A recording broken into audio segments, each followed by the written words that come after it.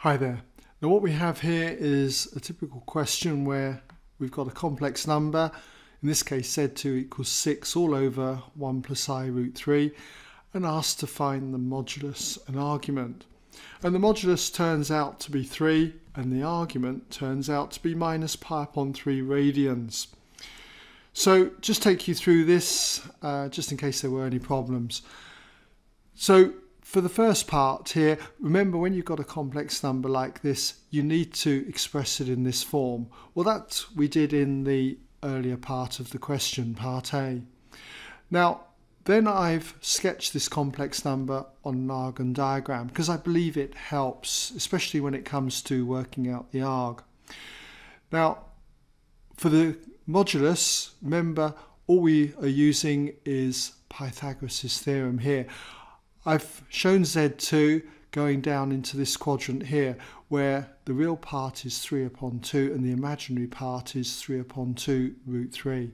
So by using Pythagoras' theorem, this length here, the modulus of Z2, is the root of this side squared plus this side squared.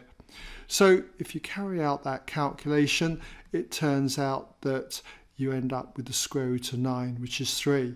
Don't forget it is a length, you're not after plus or minus 3, okay? So you just take the positive value. Now when it comes to working out the argument, you've got to be careful that, remember this result here, the arg of a complex number has to be greater than minus pi radians, but less than or equal to pi radians. So when you sketch this on the Argand diagram, it's this angle in here that we require okay that would be in that range there. It isn't this one round here. That goes beyond pi radians.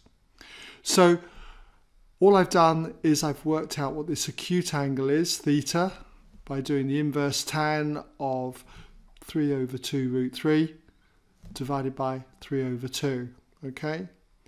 That turns out to be root 3 which is pi upon 3 radians the equivalent of 60 degrees so knowing then that the arg of Z2 must lie in this range, okay, that's true for all args, okay, when you work them out, then arg of Z2 must be a turn in the negative sense. So it's going to be minus pi upon 3 radians, okay? So maybe just be careful on that part there, okay?